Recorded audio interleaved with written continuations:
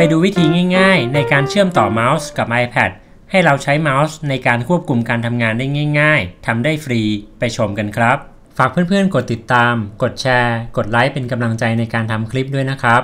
และอย่าลืมกดปุ่มรูปกระดิ่ง เพื่อให้ YouTube แจ้งเตือนทันทีที่มีคลิปใหม่ๆ ครับ ขอบคุณมากครับ สวัสดีครับ Apple เปิดตัว iPad OS สำหรับ iPad รองรับการเชื่อมต่อและใช้งานเมาส์กับ iPad ได้แล้วครับ วิธีการก็ง่ายมากๆ เราไปชมกันเลยครับ ก่อนอื่นในการจะใช้งานเมาส์บน iPad ได้นั้น iPad ต้องติดตั้ง iPad OS ก่อนนะครับ และเมาส์ที่จะใช้ต้องเป็นเมาส์บลูทูธครับสำหรับเมาส์ที่ผมใช้จะเป็น Logitech MX Master 2S นะครับสำหรับเมาส์มีสายที่เชื่อมต่อกับ iPad แบบ Type C ผมยังไม่มีโอกาสได้ทดสอบ จึงไม่ทราบว่าจะรองรับหรือเปล่านะครับ เมื่อเตรียมอุปกรณ์พร้อมแล้ว เราไปตั้งค่ากันเลยครับ ในหน้าจอ Home แตะไอคอนการตั้งค่า ในกรอบหัวข้อด้านซ้าย เลือกการช่วยการเข้าถึง ในกรอบรายการตั้งค่าทางด้านขวา แตะสัมผัส แตะ Accessive Touch แตะอุปกรณ์ตัวชี้สำหรับเมาส์รุ่นนี้ รองรับการเชื่อมต่อกับอุปกรณ์ต่างๆ ได้พร้อมกัน 3 ตัว ผมจะเลือกการเชื่อมต่อที่ 2 เอาไว้นะครับ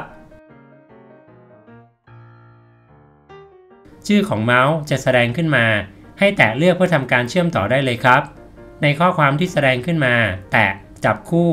เมื่อการจับคู่สำเร็จ ข้อความเชื่อมต่ออยู่จะแสดงขึ้นมาให้ทราบครับ แต่ตอนนี้เราจะยังไม่เห็นเคอร์เซอร์ของเมาส์แสดงขึ้นมานะครับ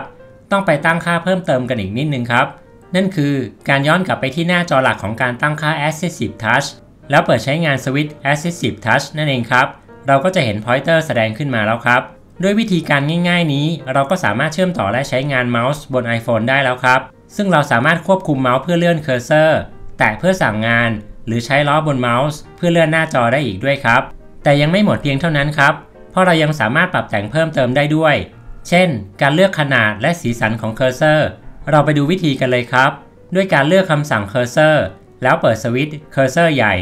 ขนาดของเคอร์เซอร์ที่แสดงบนหน้าจอ ก็จะมีขนาดที่ใหญ่ขึ้นแล้วครับทำให้เรามองเห็นเคอร์เซอร์ที่เต็มตา เต็มจอใช้งานง่ายกว่าเดิมครับแต่ถ้าต้องการให้เคอร์เซอร์มีขนาดเท่าเดิมตามปกติ ก็สามารถปิดสวิตช์ได้ครับ ถ้าต้องการเปลี่ยนสีเคอร์เซอร์ก็ทำได้เช่นกัน ด้วยการเลือกคำสั่ง สี แล้วเลือกสีที่ต้องการได้เลยครับ โดยมีให้เลือกทั้งหมดถึง 7 สี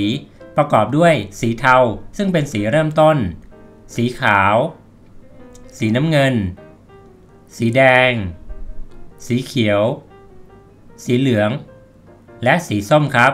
เลือกใช้ได้ตามสีที่ต้องการเลยครับ นอกจากนี้เรายังสามารถตั้งค่าให้ซ่อนปุ่ม Assistive Touch เมื่อเราเชื่อมต่อกับเมาส์ ไม่ให้หน้าจอของ iPhone ดูรกตา แสดงทั้งเคอร์เซอร์เมาส์และปุ่ม Assistive Touch ได้ด้วยครับ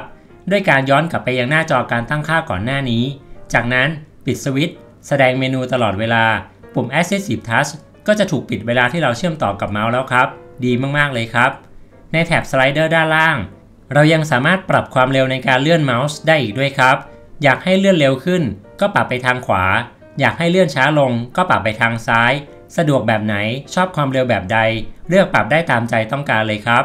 แต่การตั้งค่ายังไม่หมดเพียงเท่านี้ครับ เรายังสามารถเข้าไปที่อุปกรณ์ตัวชี้ ในหน้าจอที่แสดงขึ้นมา เลือกเมาส์ของเราที่เชื่อมต่อกับ iPad เราสามารถกำหนดปุ่มเมาส์ได้เองอีกด้วยครับ ด้วยการเลือกกำหนดปุ่มเมาส์เอง เช่น การกดบนปุ่มที่ 1 จะให้ทำอะไร ปุ่มที่ 2 จะให้ทำอะไร ปุ่มที่ 3 จะให้ทำอะไร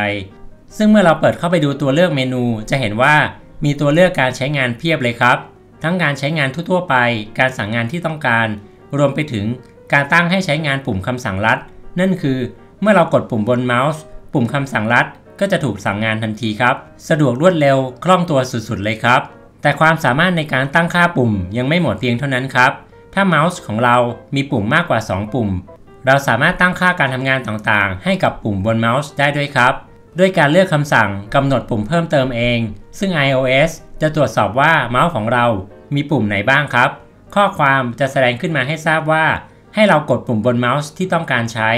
ในตัวอย่างนี้ ผมจะกดปุ่มด้านข้างของตัวเมาส์นะครับ เมนูจะแสดงขึ้นมาบอกชื่อปุ่ม ในตัวอย่างนี้คือปุ่มที่ 4 พร้อมรายการคำสั่งให้เราเลือกด้านล่าง เราสามารถไปเลือกไปใช้งานกันได้เลยครับ อยากให้ปุ่มไหนใช้กับคำสั่งอะไร หรือ shortcut อะไรเลือกได้เลยครับ ในตัวอย่างนี้ผมจะเลือกคำสั่งถ่ายภาพหน้าจอนะครับ เมื่อเลือกเสร็จแล้ว ปุ่มลูกศรจะแสดงขึ้นมาให้ทราบทางด้านขวา เพื่อให้ทราบว่าปุ่มนี้เราเลือกคำสั่งอะไร เลือก shortcut อะไรไว้ครับ จากนั้นเลือกย้อนกลับ เราไปลองใช้คำสั่งกันครับ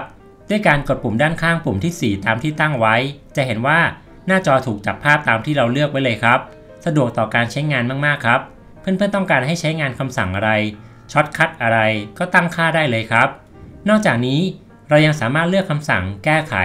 แล้วเลือกลบปุ่มของเมาส์ที่เราไม่ได้ใช้ได้อีกด้วยครับ สะดวกและคล่องตัวต่อการใช้งานมากๆ ด้วยวิธีง่ายๆนี้ เราก็สามารถเชื่อมต่อเมาส์ และใช้งานบน iPad ได้แล้วครับ เพื่อนๆลองไปเล่นไปใช้กันดูนะครับ ลองแล้วชอบหรือไม่ชอบ คอมเมนต์มาเล่าให้ฟังกันด้วยนะครับ ขอบคุณมากครับที่ติดตามรับชม